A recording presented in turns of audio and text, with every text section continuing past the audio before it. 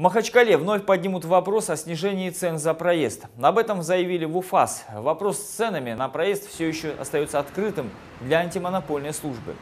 Руководитель ведомства Каир Бабаев отметил, что в действиях перевозчиков были выявлены признаки картельного сговора. Тогда 8 махачкалинских перевозчиков практически одномоментно увеличили стоимость проезда по городу с 17 до 23 рублей. Вопрос о снижении цен будет снова поднят и тщательно рассмотрен на ближайшем региональном семинар-совещании.